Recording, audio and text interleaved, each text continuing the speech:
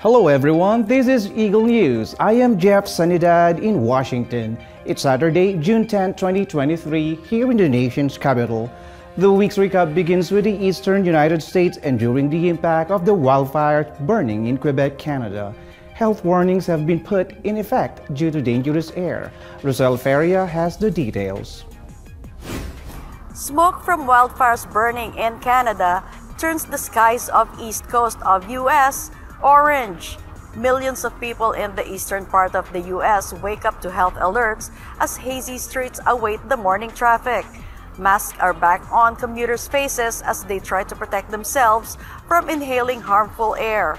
The Environmental Protection Agency, or EPA, releases a statement saying that smoke from wildfires in Canada is pushing air quality into the unhealthy or worse categories.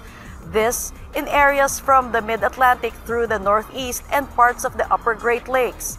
EPA encourages people living in these areas to check your air quality index throughout the coming days.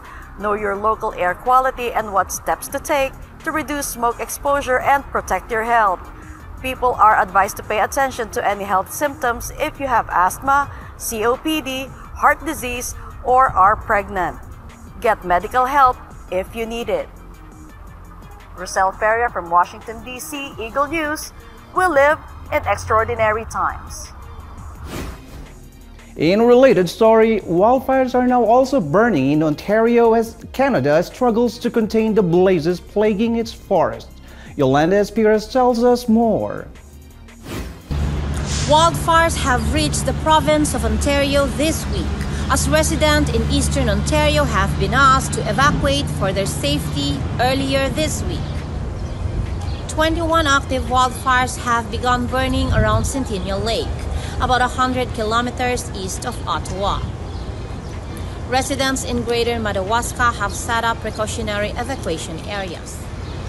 About 50 people have already been evacuated to safety. According to the province of Ontario, there are 31 active wildfires across its northeast region. 21 are not yet under control. Heavy smoke notices are now in effect for eastern Ontario and Quebec.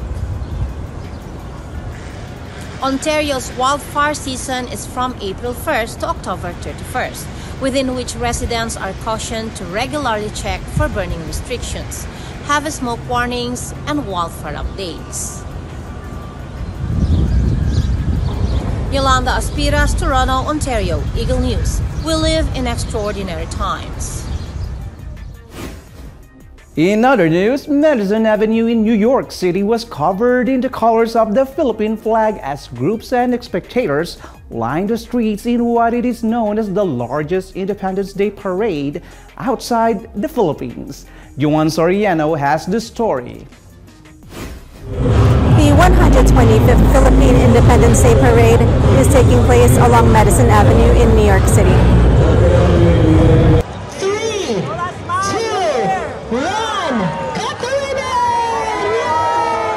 Festivities kicked off with a flag raising ceremony and ribbon cutting, along with remarks from Senate Majority Leader Chuck Schumer and a proclamation read by New York City Mayor Eric Adams. You this city running.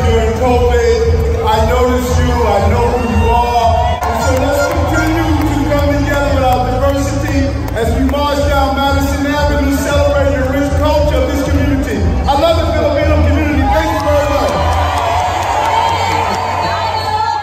27th to 38th Streets were lined with spectators eager to show their love for the Philippines. Because I want to feel how I feel uh, like in the Philippines while I'm here in the United States. So I'm here in the Philippine Independence Parade. I want to celebrate the Philippine Independence Day because um, after seven years, this is the, the First time. first time that I, um, again, after seven years.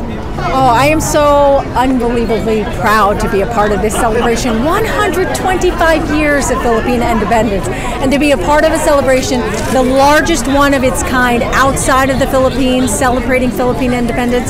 It's amazing. It was so wonderful to see such a huge crowd on a gorgeous, glorious day. It was like it was really meant to be. And to be able to not only spend it with one of my dear friends, Nina Pineda, but also my children, to see this and to, to hand it down to them, how, how much pride I have being Filipino. I think it was just a perfect day. Colors of the Philippines filled the streets with people not only waving the flag, but wearing it. Philippine fashion made a statement, from the colorful costumes to traditional Filipiniana to the contemporary. 141 participant groups marched the parade route, including celebrities such as Miss Universe 2022 R'Bonney Gabriel. The parade culminated in a cultural festival with performances and delectable cuisine at the street fair impressed with the Filipino American community here in New York. Uh, you can just see that how strong and how lively, and of course, there are what over 300,000 Filipino Americans living here in New York City, and we're all very proud of all of you. Congratulations for this big event. Joanne Soriano, New York, New York, Eagle News. We live in extraordinary times. Several stories from Thomas I. Likness today, from war casualties in Sudan to a plastic ban in Sri Lanka to rehabilitated turtles set free into French waters. All these and more on Correspondent at Large.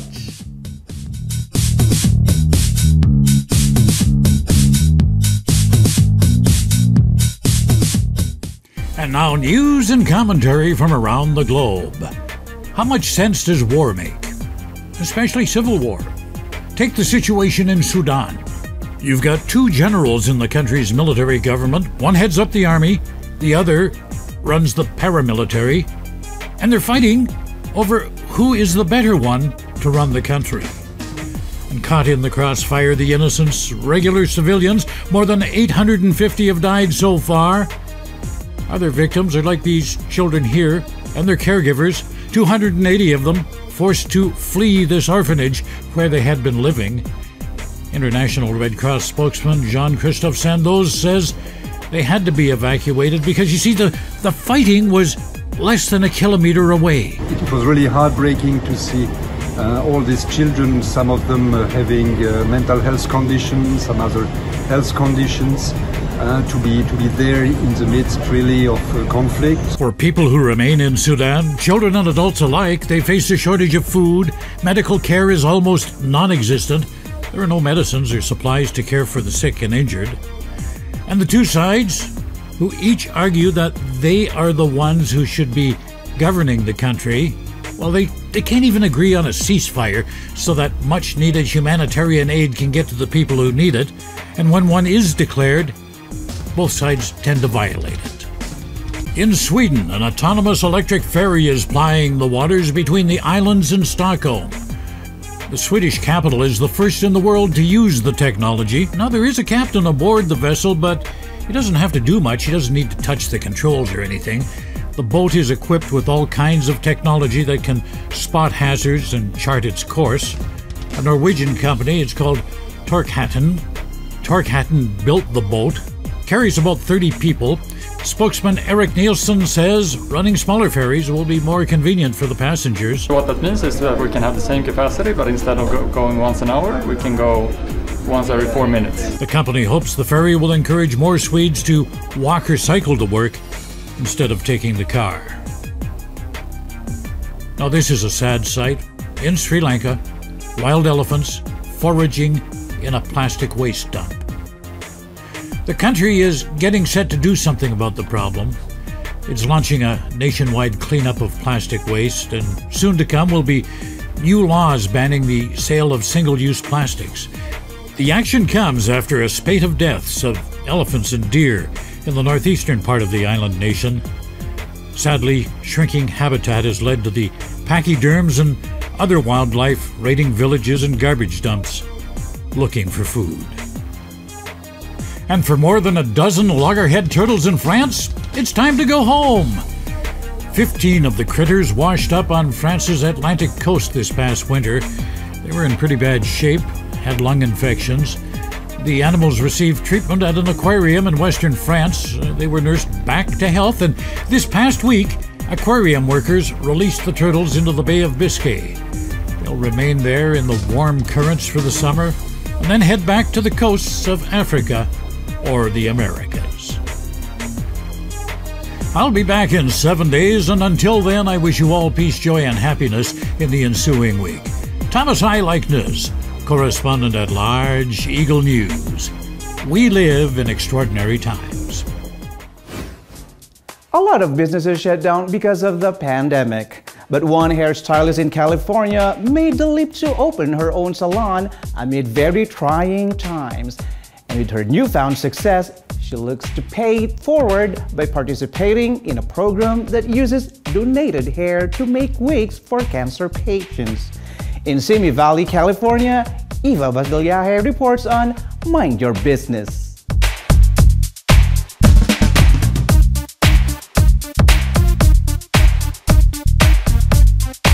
The 10 to 12 inches of hair in this bag, it's on its way to Locks of Love, a nonprofit organization that makes wigs for cancer patients from donated hair, which in this case is mine.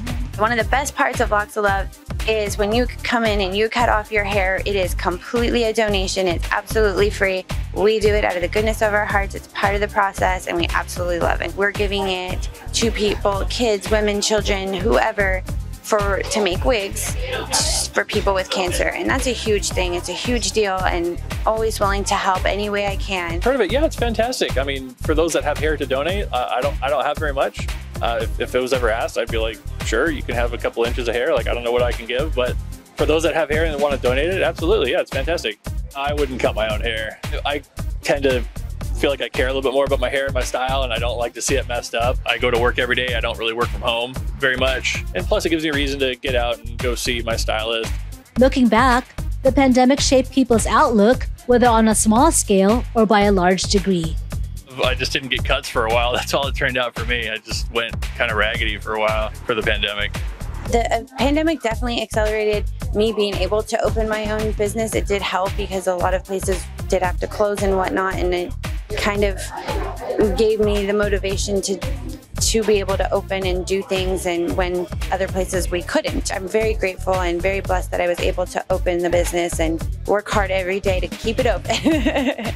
Many hair salons had to shut down due to the pandemic, but as is often the case, necessity helps others to take a leap forward to pursue a dream that had previously been put on hold. Eva Basallaje, Simi Valley, California, Eagle News. We live in extraordinary times. Let's now head over to Papua New Guinea where celebrations for World Environment Day continue with communities coming together to make a good and lasting impact. Ecco Hortaleza Quiñola on Oceania at a glance.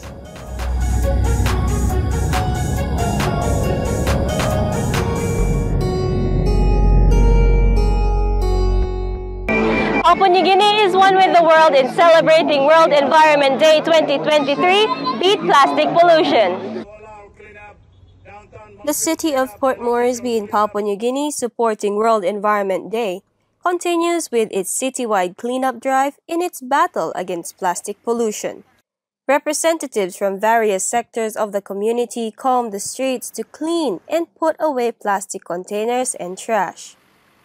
I think we can only do so much and what little we can contribute. So our way is just collecting rubbish, any plastics, anything, clearing around our vicinity. And I feel like a little contribution goes a long way. The drainage system is uh, we can we can we can um, blame the engineering, but it's partly our our people's fault where we throw rubbish everywhere like carelessly that's blocking the drainage system. As an organization, DayTech is committed to uh, contributing to the social and uh, environmental um, obligations, achieving that fight that NCDC is trying to do.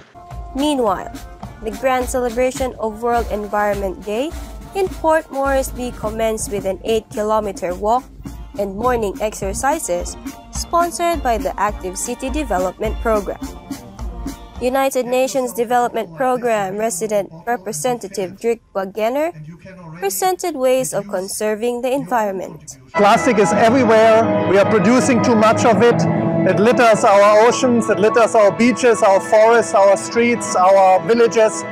So it inspires me to come here today and to see so many people who actually came together to take action. There's a lot of talk about recycling, but we've also heard that actually much of the plastic is not recycled. It all ends up in the landfill or is even burnt. So we have to reduce it, we have to avoid it in the first place and look for alternatives. For us, one of those things is like obviously to inspire action to stop using plastic, but most importantly is to create a big awareness that using plastic is really uh, quite damaging to the environment and to the people. What must be, please, don't use plastic too much. Try as much as possible to carry one water, water bottle that you can recycle and avoid using single-use plastic. Governor Powes Parkop says these two events are ways to remind the community to keep the surrounding clean, safe, healthy, and green. Ecco Hortaleza Quiñola, Port Moresby, Papua New Guinea, Eagle News, we live in extraordinary times. In observance of the National Immigrant Heritage Month, we ask our immigrant friends a few questions, one of which is how important it is to celebrate and pass down their heritage as they live a life in what many of them consider a foreign land. Here's Arlene Ocampo on What Do You Think?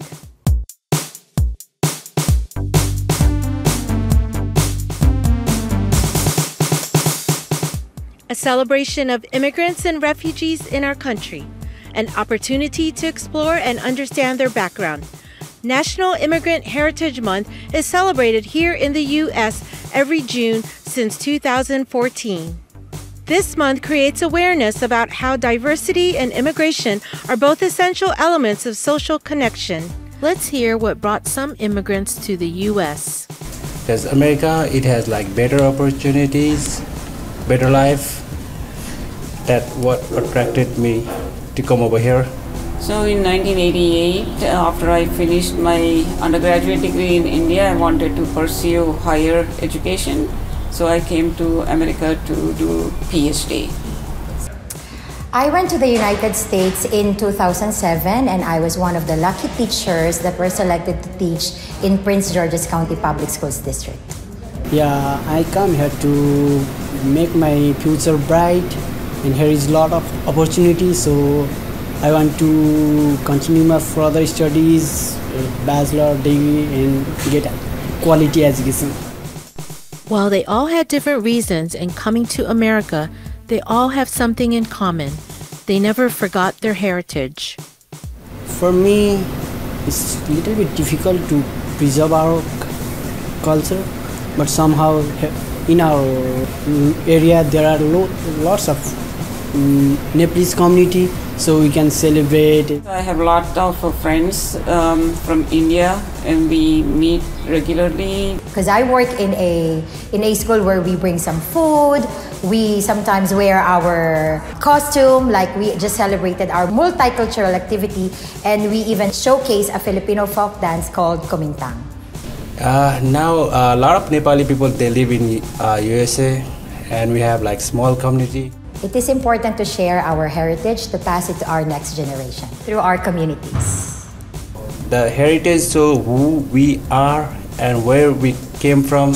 We want to pass uh, those things to our future generation. So it's very uh, important to preserve our heritage over here too. This month is a call to embrace the nation's diverse and varied immigrant communities. After all, the courage to reach their dreams built America. Arlene Ocampo, Fort Washington, Maryland, Eagle News, we live in extraordinary times. In Seattle, Washington, the famed Pike Place Market is celebrating its golden year. Let's join Ariel Castro and find out what spectators are in for. Here's Adventure Awaits.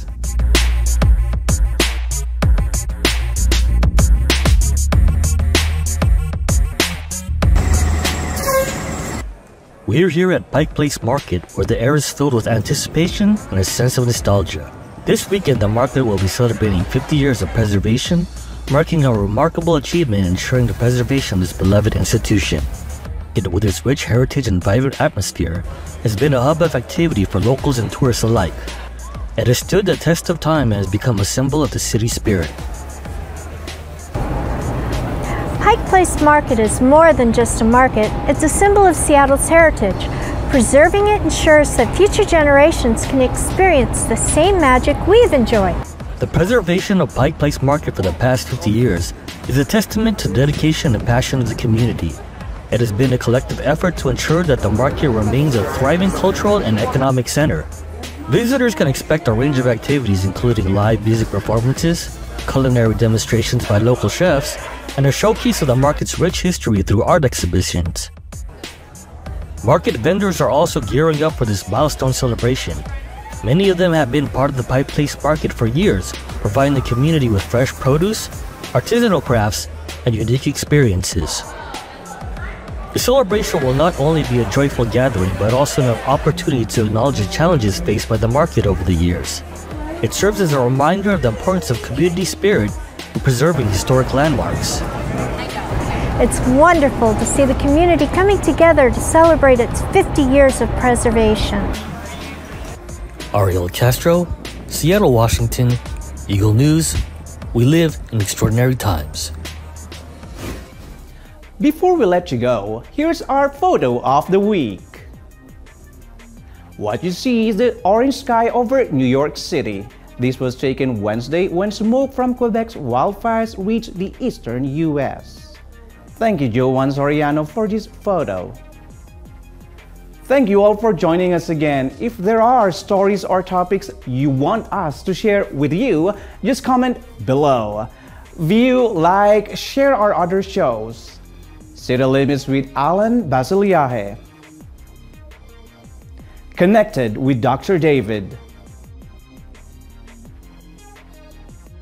Take a seat and join us with Anna Kui.